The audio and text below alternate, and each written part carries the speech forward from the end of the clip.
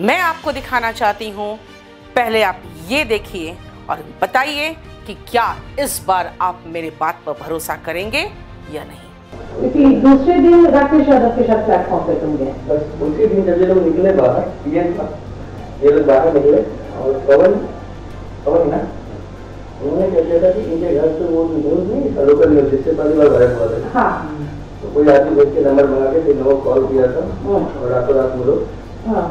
बात कर ली सुबह आ जाना है तो। अच्छा। आप इस फुटेज में देख सकते हैं जब हमने मना कर दिया कि हम रिज़ल्ट नहीं खरीदते तो हमारे कोचिंग के तुरंत बाहर जाते ही इन्होंने किसको फ़ोन किया? जिस व्यक्ति का नाम लिया जा रहा है वो एक ऑनलाइन कोचिंग का पार्टनर है। और तुरंत वहाँ पे डील फाइनल हो गई इनकी। आगे देखिए क्या होता है? नहीं मतलब हमारी ये थे कि मतलब मैम कि जो यहाँ से गए थे तो उन लोगों ने समझा यहाँ से बोला था कि मतलब कुछ नहीं बुलाया तो मैं हम लोगों ने तो फिर रखा था तो एक बार फिर से।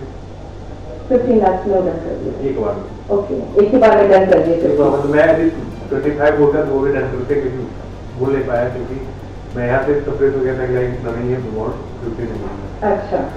आप देख सकते हैं हमने जब आउटराइट मना कर दिया तो टॉपर का फ्रेंड डिप्रेस्ड हो गया था।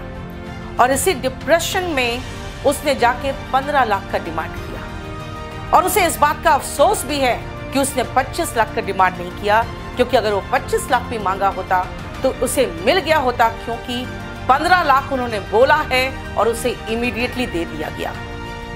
क्या ये भ्रष्टाचार को बढ़ावा नहीं दे रहा। सिर्फ़ हमारे एजुकेशन में ही नहीं, बल्कि ऐसे भ्रष्ट अधिकारी जब गवर्नमेंट सेक्टर्स में जाएँगे, गवर्नमेंट ऑफ़िस में जाएँगे तो इतना खुलेआम भ्रष्टाचार करेंगे अपने दोस्तों के थ्रू भी कि हमारा देश कहाँ पहुँच जाएगा, आप सोच सकते हैं।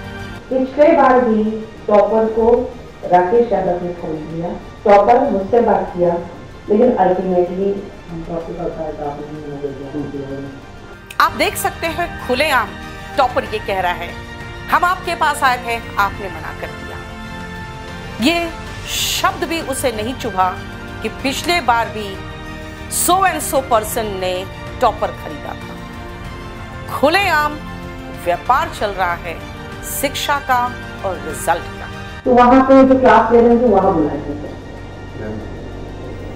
पवन ने एक टाइम दिया था मतलब अराउंड पहले तो रात में ही बोल रहे थे कि मतलब ग्यारह बजे के आसपास वो दिन हो गई।